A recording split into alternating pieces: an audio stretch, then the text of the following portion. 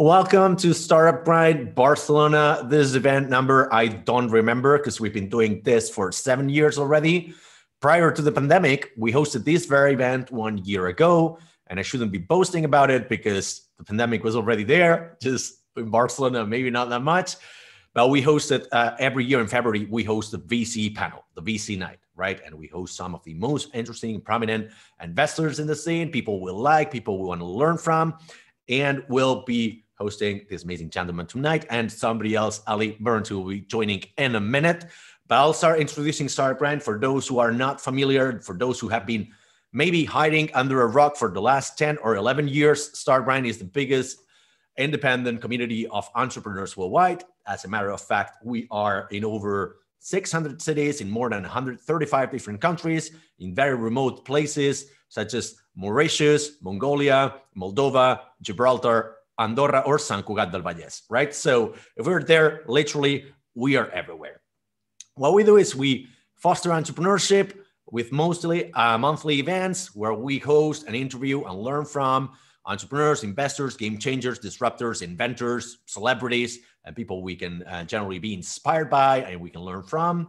We've been doing this in Barcelona for seven years, as I mentioned. Uh, we did 74 monthly editions of our event until February 2020. We had hosted three editions of the Startup Grind Tech Conference in Barcelona, which is our regionally and independently organized conference uh, based more on tech startups that we hosted every year in Barcelona since 2017. But unfortunately, this uh, year's edition has been canceled because of the of the pandemic. Looking forward to bringing it back. Startup Grind is different from other communities because not only we have got this entire world coverage, but also we've got a set of values that's very, very important. As a matter of fact, this is the reason why some of these people are here in this event, right? And I want to welcome Allie to the to the to the chat because right now I'm talking about the values, right? And the values that we've got at Startup Grind is give first, make friends, not contacts, and always help others before helping yourselves. And that's the reason why we have this selection of very extraordinary people here. Looking forward to chatting with them, to learning from them. Because at Startup Grind, what we value a lot is our friendships over the years. So we have had some of the some of the people we met in 2014 when we started uh, have been again on our on our show. Some people we met back then, like for instance, Allie. How are you doing, Allie? Uh, we met, I think. I'm gonna start, I'm gonna start with you because you, were the, the last one to join. Thank you for being here. We met in 20, I think it was late 2014, early 2015 when she was working with Steve Case. And I remember in the very first Startup Grind event in Barcelona, we said like, there's a possibility that we might bring Steve Case in Barcelona. There was like such a thing. We were pitching this to our audience for many, many months, and then we realized it might not happen after all. But in spite of that, you know, we were in contact with, with Allie. Uh, her team has been fa- fantastic, super supportive of Startup Grind and Startup Grind Barcelona in this case. And I'm super glad to welcome you to, to this event. So let's let's start with you, Allie. How are you doing? Welcome from overseas. I'm doing great. Uh, yeah, greetings from DC. You can probably see the sun coming in, so it's uh, still earlier in the day, um, but it's great to be here. Allie and I lead Village Capital. We've got you, we've got Farhan from Anthemis Group, we've got Borja from Nauta Capital, who was already on this very panel two years ago but we met in person so we could drink beer. And we've got Olivier Jim, I don't know if I pronounce that correct from AWS. Um, welcome everybody to the to the show. Welcome to Startup Grind. How are you doing, everybody? Not gonna really answer. Good. Happy to yeah. be here. All good. Happy to be here. Thank you. Likewise. Thanks for having me. No, it's a it's a pleasure. Actually, what we want to do here today, because last year was a game changer for everybody. You know, there's this some people call it a black swan. Some people just call it a crisis. Some people call it transformational moment in the entire world. But I want to hear your opinion on this because we all had a plan. We always had a plan. And we did have a plan in January 2020 for last year, but all hell, hell broke loose, right? What happened? What changed last year? How many things did we have to revisit and change and adapt to over the course of these? I think, at least in Barcelona, it was late February, early March that we didn't know how long this was going to go for, what was out there, how it was going to affect this, our company, our family, our personalities, our mental health. This is probably the only generic question I will ask to all of you. Then I will be going for specific questions to all of you. So, who wants to answer this first? What happened last year, and how did you have to adapt? Well, I can I can go first uh, if you want. Perfect. I think last year was a you know a, a challenge for everyone. Really, I mean, it, it's something that we we never really foreseen or we never really prepared for.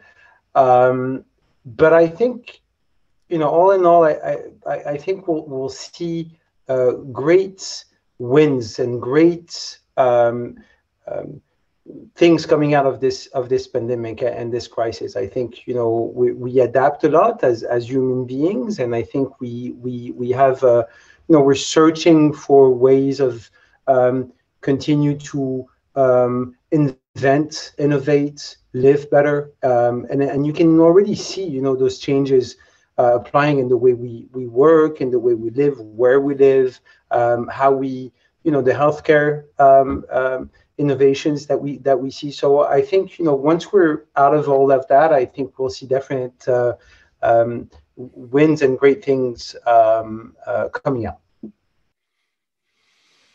Who else wants to go next? yeah, I'm, I'm, happy to to go next. Um, you know, I think while it's been you know an emotional time, a really stressful time, a really you know kind of painful time for for most, if not all of us, right?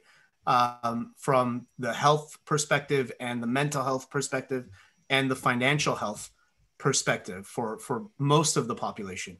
Um, at Anthemis, we're looking at this as a bit of an accelerator, right? So in terms of a lot of the the bets we made in terms of companies we've backed you know you try to have this view of what the world's going to look like in three five ten years. And what we've seen as a result of the pandemic is a lot of those trends were accelerated right? A lot of the things that we thought you know kind of maybe banks would change or maybe individuals buying habits or maybe individuals investing habits or maybe businesses and the way they buy software or how much software they buy. All of these things that we thought were going to accelerate at some point have come a lot closer in terms of that acceleration curve, in terms of that adoption curve. And I think for us, that's been you know kind of great for a lot of the companies we invest in, um, and it's given us time to pause and look at some of the sectors and see what's on the horizon by looking at this kind of point in time as an acceleration of some of those key trends. So it's been really insightful as an investor to kind of see what happens in this kind of crazy scenario when people are forced to kind of do things digital first for most things.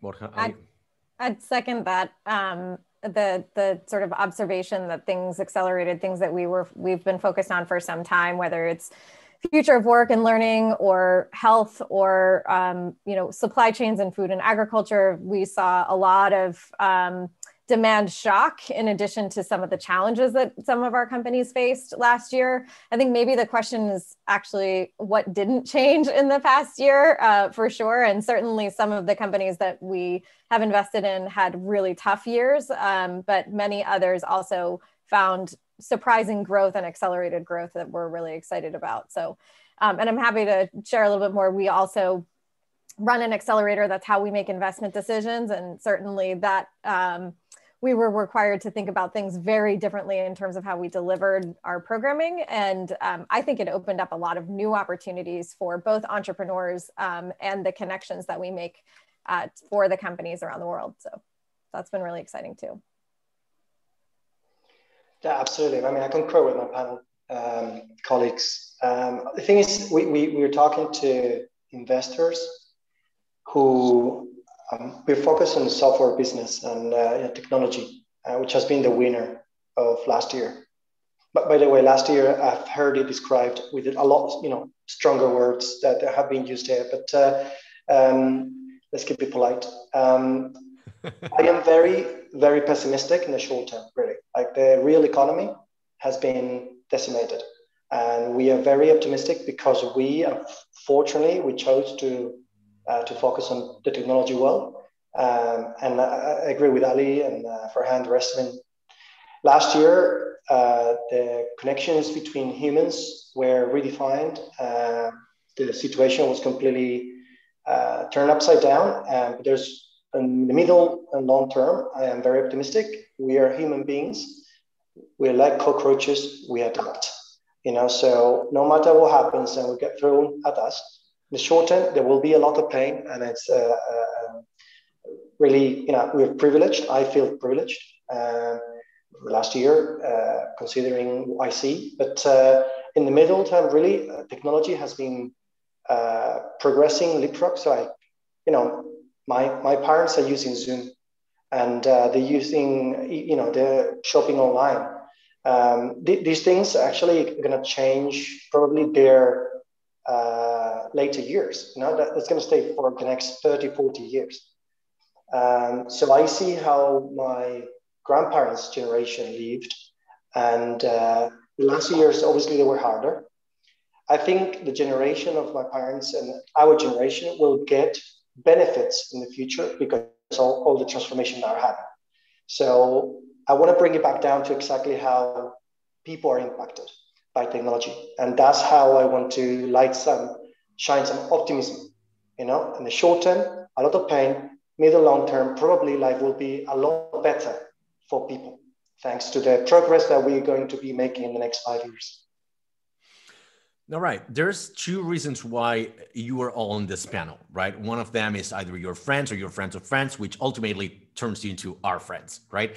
Um, there's a connection with AWS where partners, global partners, AWS has been supporting Startup Grind big time, every time. Uh, and Anthemis are investors in Cledara, who's one of our favorite companies from Barcelona, but now that we had already hosted. And Allie, we we met through Startup Grind many, many years ago, right? But there's a second, there's a second reason because you know most panels out there are just like random people thrown together into a chat, right? This is not the case. I selected each one of you because you represent each one of you represent a different sector that grew last year, right?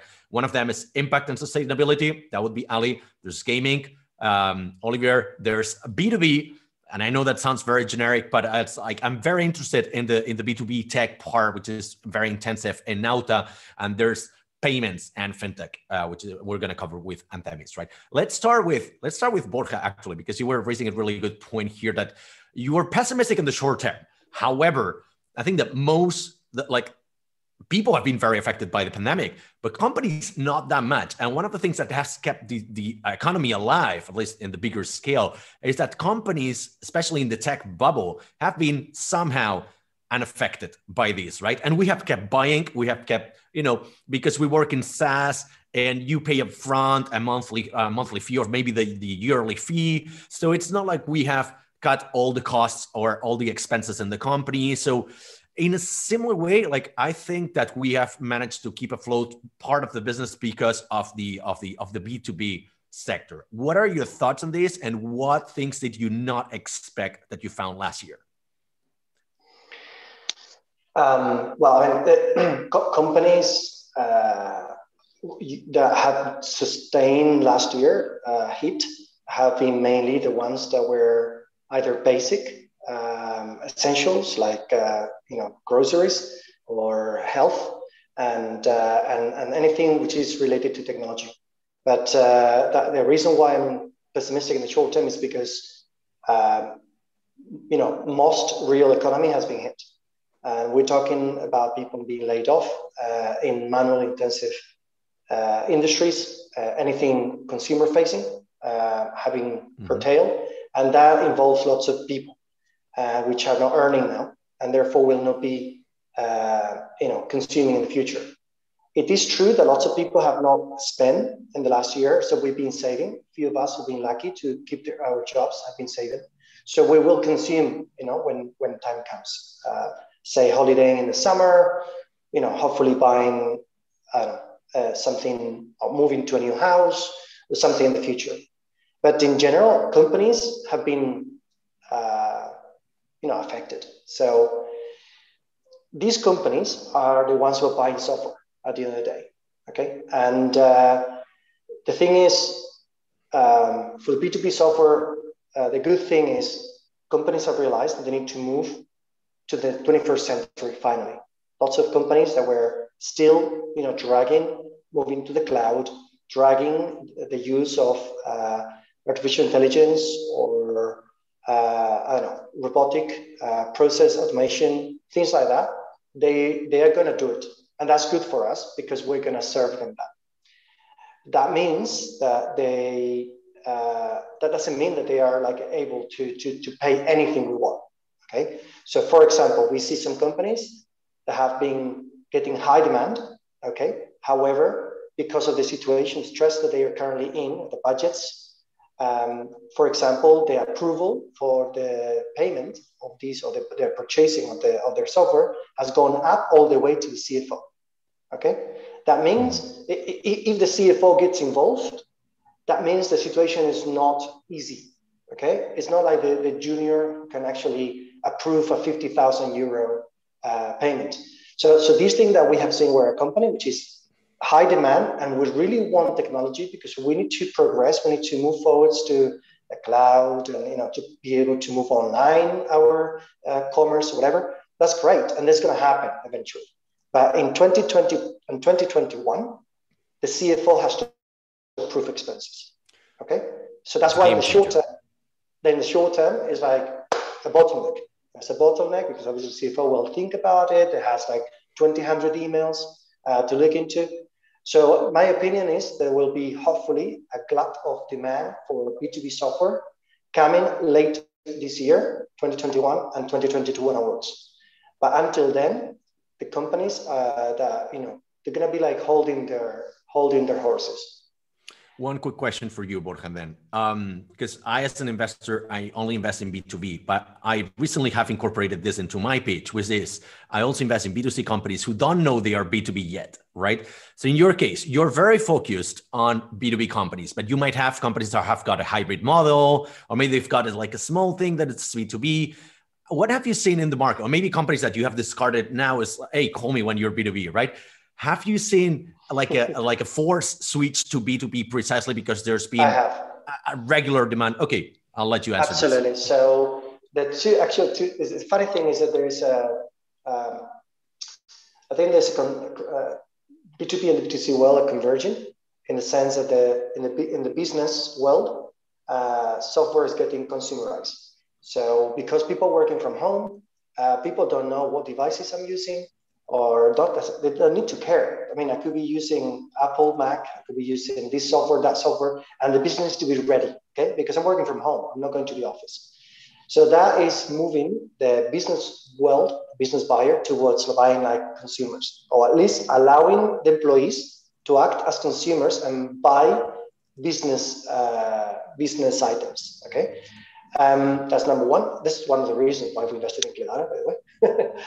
and uh, but then on the other side, we see lots of consumer-facing companies that have seen their uh, cost of acquisition grown uh, because people were not buying and uh, their retention dropping, and therefore it didn't make sense to go towards B2C model. So they're starting to switch and either do B2B directly, and that's it, or B2B2C. Okay, and this is what we've seen recently in a couple of businesses, which we saw a few years back saying, "Oh, you guys are doing just B2C because you will now be Facebook standard." Back in 20, you know, 10, everybody wanted to be Facebook, and yeah. now people want to be Salesforce, which is great. So for us, so uh, th- this is like a change, and then they call me and say, "Hey, do you remember what we talked we talked two years ago? Well, we're now doing what you suggested." Okay, thank you. And uh, and that's when we're looking into into them again. So yes, we are seeing that kind of change in, in business model. Olivier, connected to this, connected to this, because Borja said, you know, there's a, the B2B part has been spending, people have been laid off, there's been more unemployed people. However, we've seen a huge race and the gaming aspect of things. And not only that, also in passion economy, right? Uh, which are intertwined companies like Twitch are the gaming, are the passion economy, are both. Where are your views on this? And maybe you can share. I think you've got like some data, at least from from France, but maybe we can extrapolate that for for the rest of the world. Yeah, I mean, you know, definitely, there's been um, it's been hard last year for everyone. So I think everyone, you know, staying home, uh, you know, you're trying to find some activities that you can have fun with. And gaming provides you with you know the most exciting type of media out there right now and you, you talk about uh, twitch and there's the social media aspect of it but there's also the interaction uh, with the different games that you have, and then you have mobile games, and then you have the PCs, and then you have the consoles. It's a family thing as well that you can that you can play. So there's been a, a, a big, big uh, um, you know increase.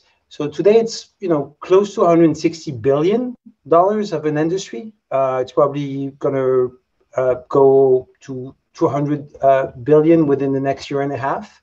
That's a 10% growth, right? And then you have different growth in different regions.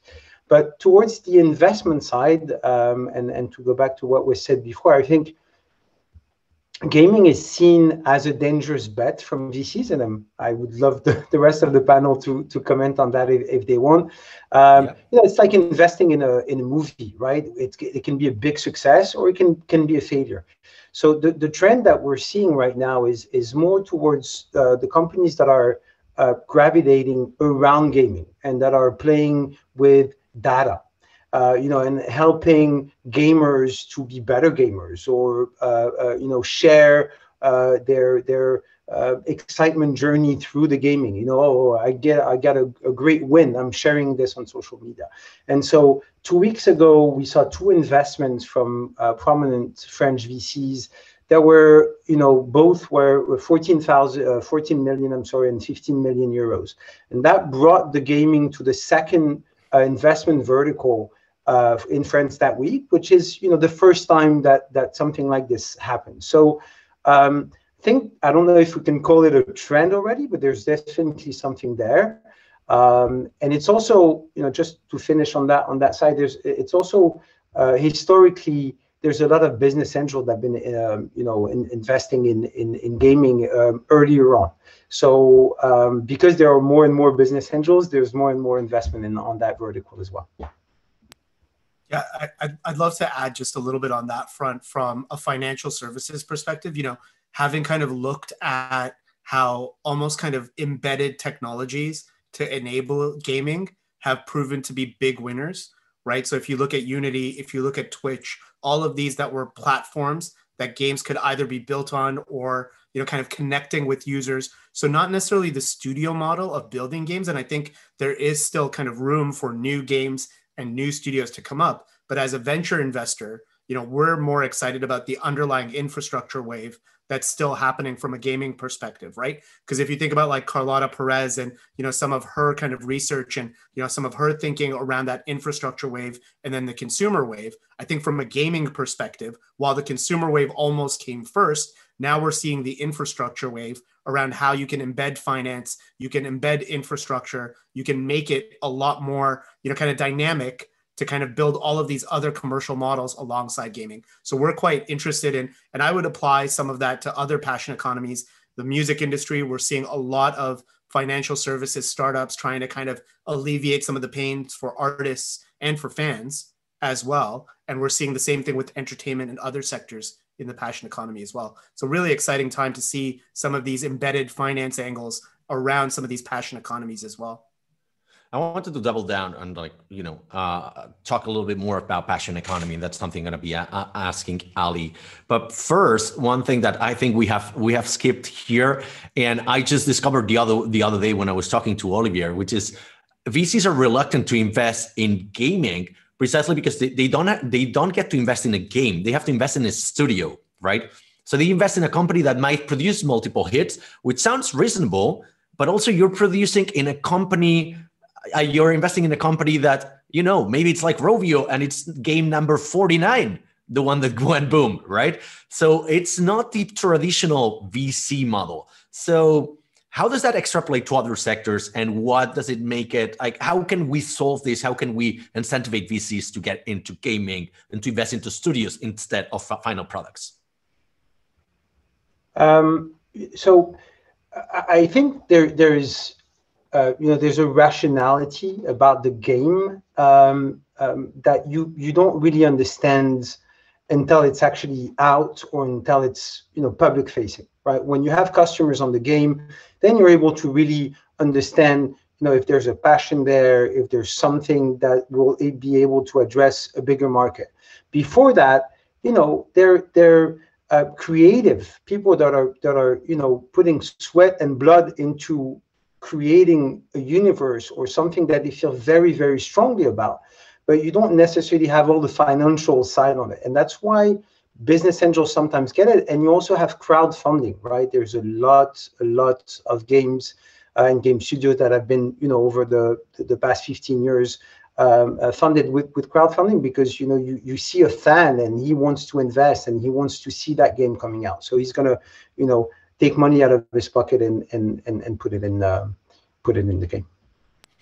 Allie, your turn because I wanted to talk about passion economy. I know that might not be exactly what Village Capital is focused on, but since you've got social impact, you've got sustainability, and you've got essentially projects, you invest in projects that help people, right? Obviously, we're tackling projects. You're tackling projects that have got to be have got to do with you know poverty, uh, famine, and everything. But there might be also projects in which you're enabling people to have access to you know technology or have access to payments, right? Have people to capitalize on their passion, right? Uh, is there something you want to share something about?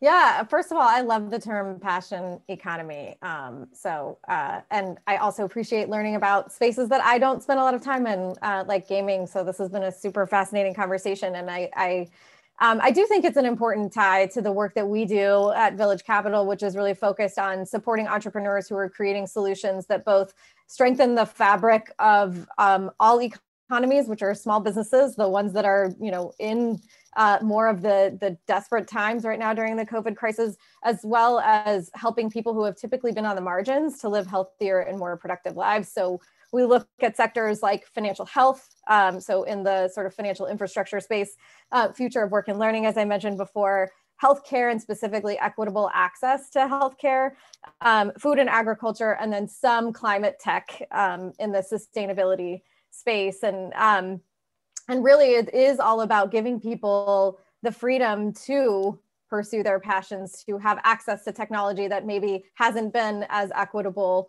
um, to access. And we're really excited about, you know, the to the point I was making earlier on um, acceleration of some trends. Like there is a real realization with the COVID crisis that um, there have long been um, inequalities um, in the way we operate both globally and within our own domestic economies. And there's an opportunity to solve that, um, not only through government intervention or um, the philanthropic sector, but the entrepreneurs have a, a huge role to play in this um, sort of concept of, of building back better. And there's money moving. There's more and more money moving to these spaces. Um, so we're, you know, what previously we had been sort of the one of the few players, there are a lot more players who are actively identifying as impact investors. And that doesn't mean I think there's been this sort of uh, re- uh, reticence to call yourself an impact investor because that somehow means you are sacrificing financial return. And that's absolutely yep. not the case. Um, and uh, we're starting to see that really play out. Which brings me to my next point, which is exactly looks like most VCs they take the easy route and they say like you know I invest in companies from San Francisco, from California, from secondary markets, maybe you know Barcelona, London, so capital cities. But you seem to be all over the globe. You've got offices in every continent, and it might be inspired by I don't know if that where that idea comes from, but you used to work at the Case Foundation with uh, Steve Jane Case one of the projects you did was the uh, Rise of the Rest tour, in which uh, Steve went around America just yeah. to decouple entrepreneurship from Silicon Valley, right? Because it seems like all the focus is on Silicon Valley and fuck the rest, which is not the case. I will do the impolite uh, interjections here, right? But um, but one of the th- one of the reasons why people go to the principal market, the primary markets, is because you will find more partners to leverage and to help you accomplish your mission. However, you go to countries in Middle Africa, right? Which there will be fewer partners with whom, you know, to partner work together. How do you overcome this situation? And do you find like yourself, like, uh, uh, what has been the biggest difficulty in trying to partner up or collect more partners to bring into a project and make, make it a reality? Yeah, in some of the markets we operate in, um, you know, the, the capital stack is very neat and clean. And, um, you know, we do work in the US um, while we focus on these impact sectors. We work with a lot of traditional VCs um, in the US, Latin America. We're seeing um, a lot of movement towards the spaces that we're operating in. but as and, and in India as well. But as you note, um, sub-Saharan Africa in particular, the capital stack is really messy, um, and you know a traditional VC hmm. investment doesn't always make sense um, because the um, the path to exit is very unclear. Um, so it has become more challenging to find partners who will come in and co-invest or be that sort of we're very early stage, so um, be that sort of secondary partner. We what we have seen is a lot of movement to shore up lo- the local ecosystems and build out locally based funds in, in these markets. Now, a lot of the money is coming from um, Europe and the, and the US at first, um, but there's so much talent that's being built up um, in each of these markets um, that understands the market, understands how to find the right entrepreneurs. Um, and so, if we can build up these emerging fund managers, I think we'll see a lot more activity happening really quickly um, in those markets.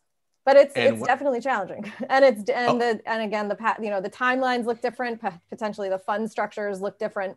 More patient capital is required too. So, as I understand from your uh, from your comments here, is that in 2021 we're still finding that preconception of social impact means no economic return whatsoever, right? Correct. This is not going to change anytime soon, right? I hope it. I hope it changes very soon. Um, I think you're seeing we're seeing some some exits that will battle that that perception ourselves, but uh, also across the the space. Um, I think you're. I hope we will see that change, but it's changed. This is something I worked on at the Case Foundation with Jean um, around yeah. sort of perceptions of impact investing, and it's taken longer than I had hoped. Um, but anyways, a thank you and a huge shout out to your team at Village Capital because the projects that you're backing are incredible. Farhan, um, let's talk about payments because if there's a common denominator in everything we have spoken about right now, is payments, right? I mean, money needs to keep circulating. And maybe even when we were in full lockdown, some of the countries, some of the cities were not allowed to go out in the streets, we were still buying online, right? And you know, we all know that maybe in areas like Africa, people went to mobile, they skipped, they leapfrogged into mobile because precisely they could never afford a home computer, right? So payments have always been there. There's been an infrastructure in Africa that's been, you know, kind of like a good framework to learn from. And one of the one of the companies that we actually uh, connected through is DuPay, that they, they had operations in Egypt, right? Um, my question to you is very specific. As what we have found uh, throughout the pandemic is that there's been a growth in payments not only because people have been uh, more online payments, sorry, because we have spent more time at home, but also because we have, or the market has adopted a whole new bunch of people who had never paid online, but they had no other option, right? So, what impact has this had in the companies that you're seeing?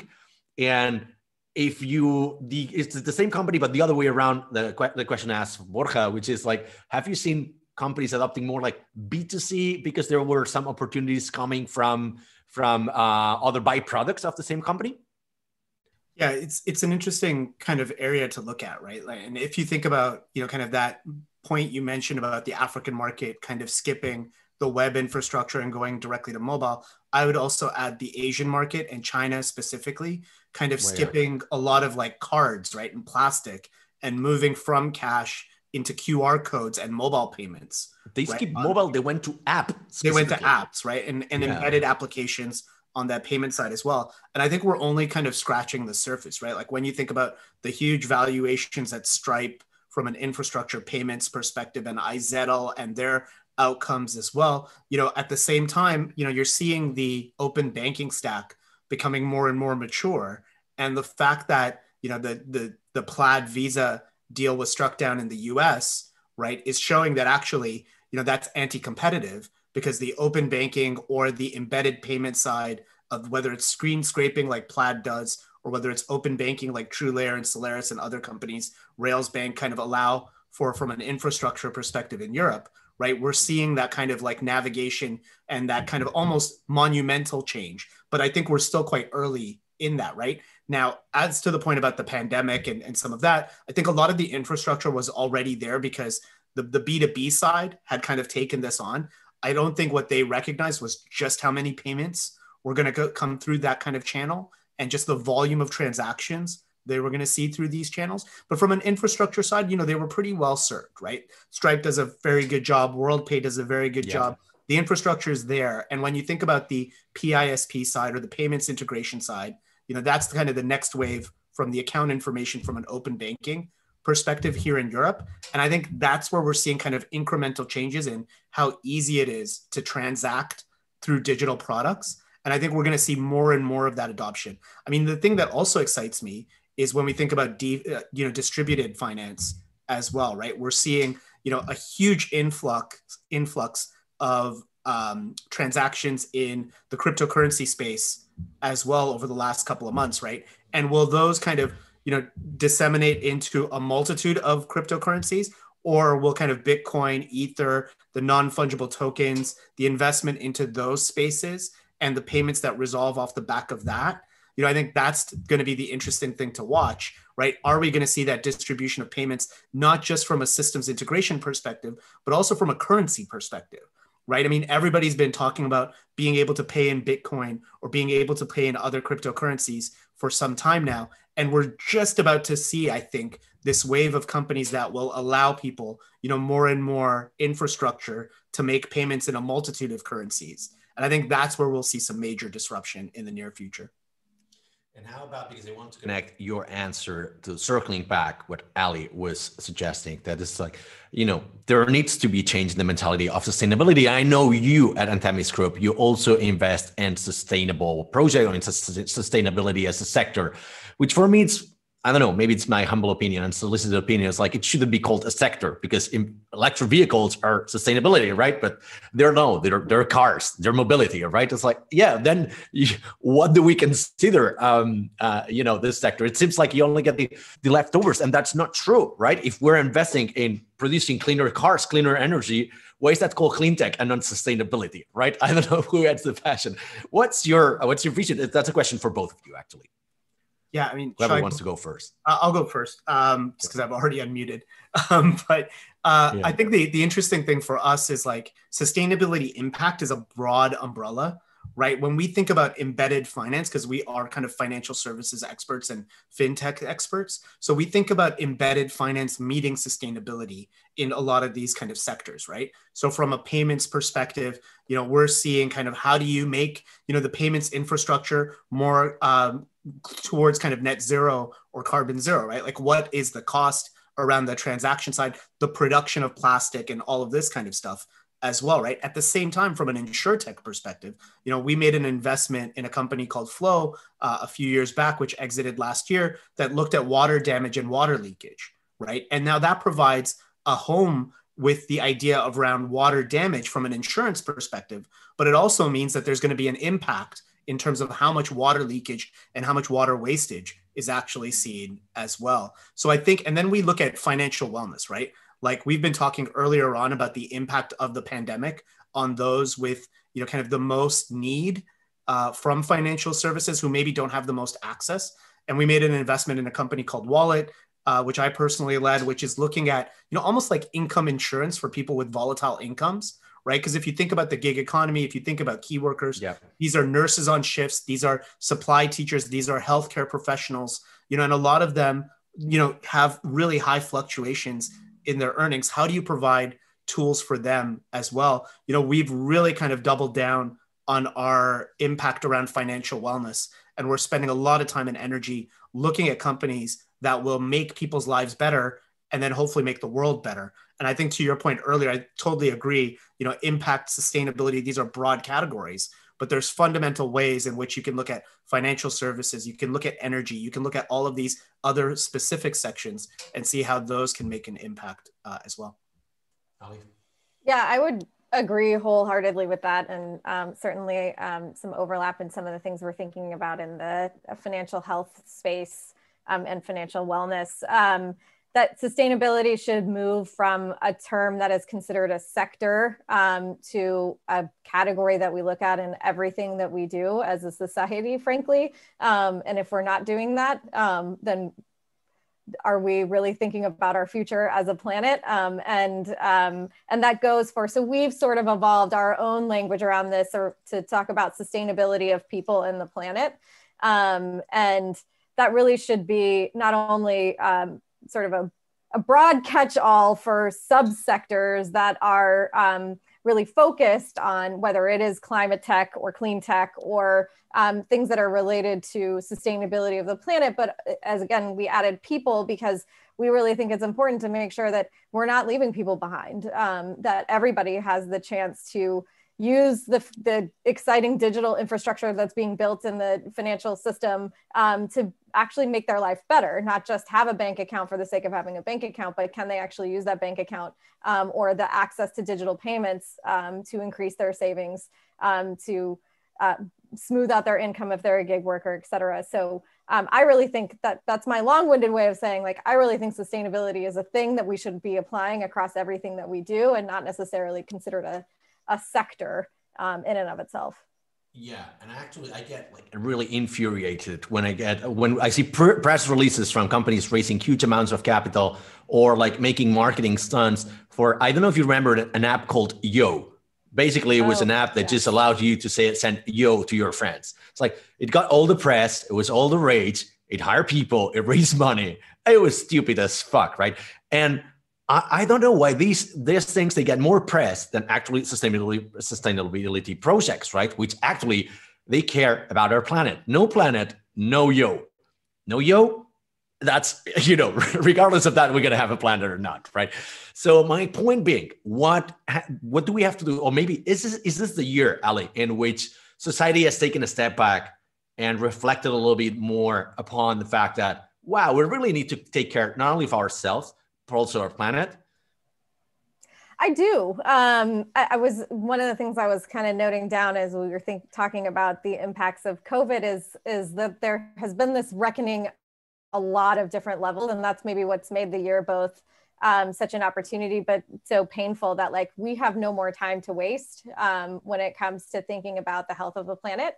Um, what I would say is um, that doesn't mean that every entrepreneur needs to be solving a problem that's directly related to the things that we are focused on. Um, but it does mean that it's important for companies to start early and thinking about what is their impact on people and the planet um, and being more intentional about that. So um, I, am very optimistic. Um, and uh, that is also, you know, there is also the, the other the devil on my shoulder i guess that that's like we because we have to be um, we've got to we've got to move quickly and we've got to move now yeah Borja i think you wanted to add up something to this yeah so you were asking whether this is a time you know the year when society reflected we we don't know yet but it is true that we, we are VCs here, right? Okay, I think at least uh, we are financial VC. Uh, our LPs, so our investors, have thought about it and they're thinking about it and they're asking us about it. Okay, so um, they're not asking us to invest in sustainability sector because again, I agree with you guys. It's not a sector; it's an attribute of of a company. The same way I can say a company could be capital efficient. I can say a company is sustainable or help sustainability. Um, so our investors are asking us to analyze or to include within our, our analysis uh, ESG factors. Okay, this is this is a fact uh, that has been put on our table last year. So, uh, yeah, previously was talked about. Now it's more like this is on the table, guys. Look into it. And we serve our clients. Our clients are twofold. On the one hand, is the entrepreneurs, but on the other hand, obviously, the investors that give us the money. So we need to pay attention. And if we pay attention as investors, we will look for those you know, business models that at least are less unsustainable. I'm not sure though whether they are fully sustainable or focusing on like uh, increasing sustainability, but at least hopefully we will do investments that are less, uh, you know, unsustainable, and that is a step forward, I believe. Um, but I think in, in the future we'll see this as uh, an important matter. Uh, I think uh, society is demanding this. Uh, I think the investors are demanding this, and actually, in the middle and long term, it could be the, the it makes financial sense. So basically, you do well by doing good. Uh, so everything basically is, you know, the, the, the, cycle the cycle ends up being virtuous, and uh, and, and, and everything gets, uh, you know, for the benefit of the, of the society. and the earth. So the question here is: Is this something that needs to be pushed, uh, sort of like, like command, control command style, or incentivized? And those that's that's basically how how quickly needs to be pushed. That that could be the question. Whether it is here, it is here, and it's here to stay. The question is whether it's going to be pushed very very hard, and how and when.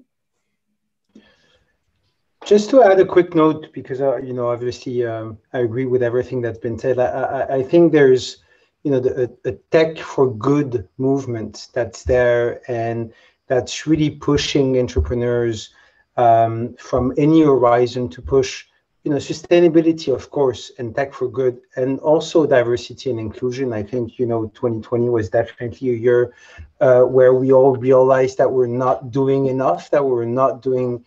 Um, uh, what should have been done in the past. And I think, you know, if you take those subjects and you put them all in, in, in that expression or term, tech for good, I think, you know, it's definitely what we'll see in the future. And I think it's, it should be and it will be embedded in every entrepreneur's minds um, to push this in France. I don't know how it is elsewhere.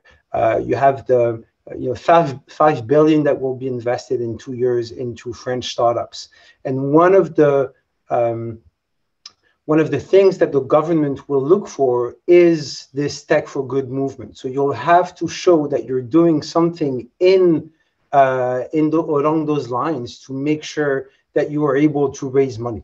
And I think it's definitely the, the way to go, and and um, and it's definitely our future. And it's it's great that we'll uh, you know that we see this together to, today. And that's a really good point. Brings me my next question is going to go about diversity and inclusion, and I'm going to go into the questions from the audience. Actually, some people have sent this uh, through the YouTube channel. Some people have sent it beforehand um, by email or by a Twitter as well. So um, there's a question of just whoever wants to take this one as actually, or, or maybe the companies here that are less global, but have you found that because of you know everybody being remote and working from back home. Um, have you gone out of your comfort zone and invested in companies that were not in the cities or areas you usually invested in? Who wants to take this one? I'm, I'm happy to, to touch on it but you know i think we we were always comfortable investing in companies you know from from everywhere you know from portland or seattle through to the Middle East, and we've done an investment in Singapore, which was our first Asian uh, investment as a firm. Um, and so we we've always been quite comfortable, like going quite broad. You know, we've been distributed. Our our founding partners live in Switzerland and New York, and you know the team is split. I think it's probably about six or seven different locations as well. So we're very comfortable, kind of like going quite broad where the companies are. We also made a couple of investments in LATAM uh, in Mexico as well, which were our first uh, there. But I think that we were kind of seeing that coming in the horizon anyway. And I wouldn't say, you know, kind of the pandemic has pushed us to do that. But I do think we've evolved and have gotten more comfortable in making investments in other markets where we probably weren't that comfortable a few years ago. And I don't know if somebody else wants to add up on that, but there's a second part to the question, which is have you seen that this whole remoteness thing or this distribution of people has increased diversity actually in the teams that you are looking the decks of, uh, the best the pitch decks of? Um, I, I, we personally, we, we at Nauta have not seen a special uh, increase in diversity. I mean, I wouldn't say that it's because of the working from home situation. If there is anything that is coming through, the trend is starting is for their, you know, female founders to be more ballsy. But that's the only thing that may, they may need. Just say, I, I deserve it. Uh, hear me out. And uh, that's probably the only thing they, their attitude, own attitude is changing. Um, and that may be why they're you know, pushing forwards for like, I'm going to raise money. And this is a proper business here I have in my hands. So, but not because they're working from home, if uh, that's what you are asking. Yeah, yeah, I would just add to that. Like, I think our activity. So we have a female founders lab. We do a lot of Black office hours. Um, so we have a, an intention around trying to kind of like build the pipeline and find the the right opportunities right because we do believe the opportunities are out there but it's uh, in our best interest as investors to go out and harness those opportunities to find those companies uh, we did a company called First Boulevard which is looking at the black community from a banking perspective uh, in the us through that female innovators lab uh, vehicle that we have for investing and i think we'll do more of that but I don't necessarily think it's because of distributed teams. I think it's more about investors and us in particular and others like us saying, actually, we need to, to be more active, to engage in those founders, to, to make sure that we're, we're accessing those deals as well that are out there. Allie, actually, one of the things I wanted to touch on is that your fund has invested in half of the companies that you have invested in actually created by women, right? Um, yep I don't know if you want to add up something to that, but I wanted to briefly comment on VIRAL. You know what I'm talking about. And I think the audience might not know about what I'm talking about, but they should, right? So you want to touch these two points? Sure. Yeah. Um, on the diversity and inclusion piece, I'll just say that these are things our three sort of problems that we're trying to solve is too little capital goes to too much capital goes to too few people um, so when we're talking about sort of racial and gender and ethnic ethnic diversity, too few places, geographic diversity, and too few problems, and this is the the sort of like impact oriented problems. So um, so we've we've seen a lot of volume increase in people asking us to um, share pipeline, um, which is great. So we're really excited about that. Um, on VIRAL, um, so the as, as I mentioned earlier, we are both we both run um, at the simplest level, an accelerator um, that uh, we use to make investment decisions. And um, that program is focused on investment readiness. And one of the things that we found um, very early on in our life cycle is that entrepreneurs don't actually speak the language of investor. And investors are often sitting across the table from entrepreneurs who aren't able to articulate um, where they are in their startup journey in a way that really resonates with investors. So we created something called venture investment investment readiness and awareness levels. Um, it's modeled on a, a, a, framework that NASA uses to evaluate what projects they'll invest in. And um, it essentially is an, you know, it's at its very core, it's a nine by eight matrix that takes eight categories that an investor typically looks at, nine levels of investment. So everything from I'm just getting this company off the ground in whatever way I can to a major uh, acquisition or IPO. And of course, an exit can happen at any of those levels. And really, what it does is create a simplified milestone based framework for entrepreneurs to both self assess uh, their business um, and talk to investors in a language that is uh, more palatable to describing where they are as a business and helps them get better feedback, um, frankly. So, um, anyone, I will do a little plug that anyone can use this tool. Um, we go at a much, a a much deeper level in our programs. Um, but anyone can use this tool by going on to our Abaca tool, which is abaca.app, um, A-B-A-C-A dot app, um, and do their own VIRAL self-assessment. And I will stop there because I know we have limited time left. yeah, we got seven minutes left. Um, two quick questions, and I think th- this one this one's a fun one. So I think it could apply to any of you and I'd like to know the answer because this is a good one actually. And I might I might answer that myself too. Is have you seen creative new creative ways for entrepreneurs to reach out to you seeking investment? Who's got who's got a great answer to this one?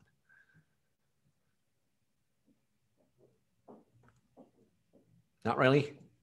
You haven't been contacted via Twitter or any social network. Uh, I gotta I gotta pitch that via Instagram.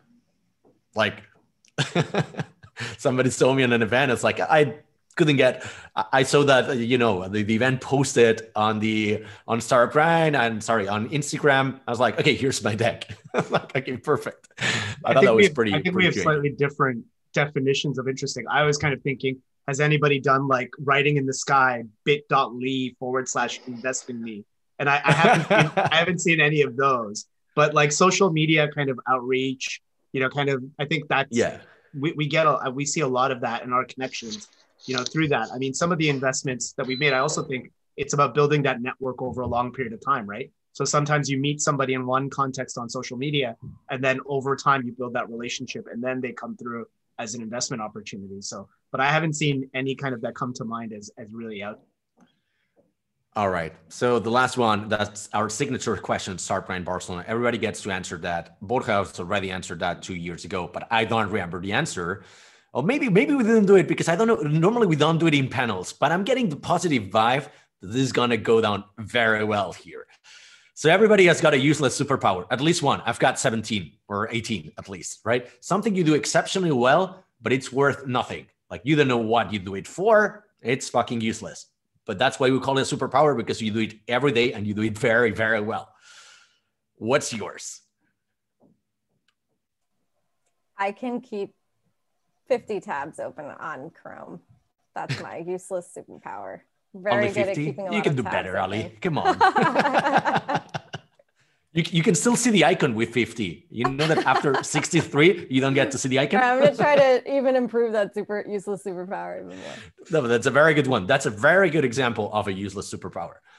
I'll go next to inspire the next people. I always schedule Startup Grind events at the same time as my favorite soccer team's matches. Like right now, Barca is playing. I'm like, why did I do it? it always happens. Like in every second event, it coincides the time and the day. So What's uh, yours? I, I can do a Rubik's cube in under two minutes. So it's not it's not fast enough where I would compete in it, but it's okay, right on that front. So that's that's my useless superpower. So it's kind of like you're not surprising anybody. Like nobody is surprised. But I was like, it's okay, dude. Like nice pat on the back. Wow. That's a good one. That's a good one. All right, who goes next? Um, I'm I'm I'm not too bad at throwing cards, actually. Right? When I was younger, I used to play, um, you know, throwing cards into a hat, onto something, and it's not something that I keep practicing from time to time. So that's completely useless, right? But I still like it. that's not something you had in your CV, and that what what got you the job at Amazon? No. no, I haven't told them about that, but you know, maybe I should have. I don't know. Right. I should have like you know put a, a picture on my LinkedIn uh, as me throwing cards in a hat. That's a good one, Borja. You've got time enough to think about one. To be honest, I, I was looking for one, but really, I mean, I'm pretty useless as a super power man. so, I don't know. Just thinking about something I do every day is totally useless. Probably like bringing the notifications inbox of my LinkedIn down to zero for some reason. Like I just click them, like I don't want them. I just want zero. I don't, I don't care what they are. if you do it every day, that's really good. That's a very good example.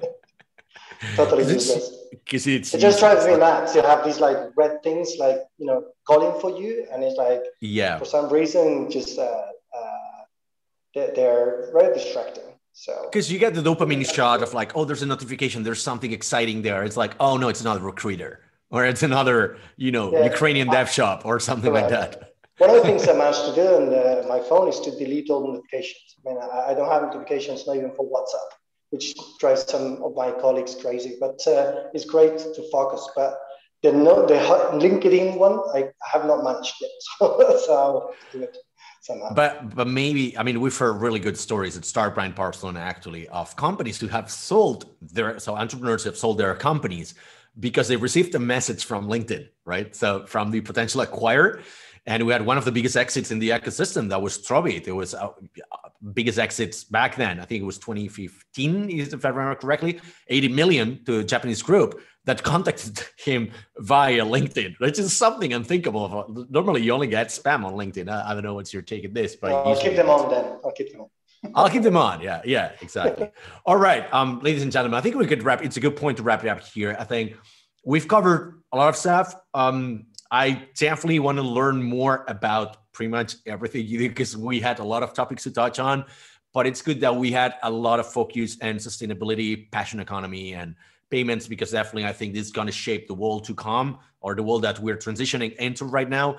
And it's good that the, the whole population is stepped back or stepped aside and reflected a little bit a little bit of where we're headed into and rethink a lot of things are going on in the planet. So well and you know, and on behalf of Startup Grind, just thank you for being here. Thank you for making the world a better place, and thank you for helping entrepreneurs because that's the most important thing. Any parting words for everybody? Anything we need to know? Anything the world needs to know about you or your funds? Last turn for everybody. Quick one. Just uh, my, my, hashtags these days on LinkedIn are future is coming. And, Future's coming. And be happy working. So those are the two things I would drop now. Optimism. Up to that, that's a good one. All right, Olivier, we want to go next. Something you want to share with the world? Oh no, I was really, really happy to to be part of this panel. So thank you very much for having me. If you have any um, interest in in game, you want to just talk about it, you want to exchange ideas, you know, shoot me up on LinkedIn. I'd be more than happy to talk about that. It's a it's a passion. So um, uh, happy to interact with anyone who has the same passion. Thank you. I'm really happy for you because you get to enjoy your passion, which is gaming, with a lot of money, right? Coming from Amazon, so that's the that's the dream job. Allie, you want to go next? It comes with uh, big responsibilities as well. Great powers come with great responsibility. I think that's it. Uh, Peter Parker's aunt, uh, aunt right? yeah, yeah. And so, for a side note, it's a French revolutionist who actually said that first, and it was taken uh, after that from. It's always the French. It's always the French doing it first. Allie, parting um, just thank you, um, Alex, for putting this together, and to everybody. Um, I've learned a ton, um, and I would also echo if anyone wants to reach out. I do not clear my LinkedIn notifications every day, um, but I try to do so regularly. So feel free to look me up and reach out. Perfect, Farhan. Yeah, I'd, I'd second that. You know, feel free to to reach out to me, whether it's on LinkedIn, whether it's on Twitter. Uh, you know, I'm still waiting for somebody to, to give me a URL in the sky uh, but I won't hold my breath uh, on that one. uh, but yeah, and embedded finance, it's the future. So thanks for having us, Alex. No, you're welcome. We did an open call for our entrepreneurs whenever we have VCs and investors to ask for pitch decks because um, that's the that's when we get your attention, right? We're getting your attention now, and if we send you decks tonight, tomorrow, next week, um, I know that if they come from a warm introduction and warm referral from us, you will be you will taking a, a close look to them. So if you haven't sent your deck yet, send it to me or send it to them directly if you can find their contacts. But um, and done so, a lot of people have done already. So you will be next on the list. All right. Thank you, everybody. Um, thank you for being part of Startup Grind. See you next month with Eloy Gomez from Jeff. Uh, we'll be having a, another Startup Grind Barcelona event, going back to Fireside Chat. Until next time, have a nice week, everybody.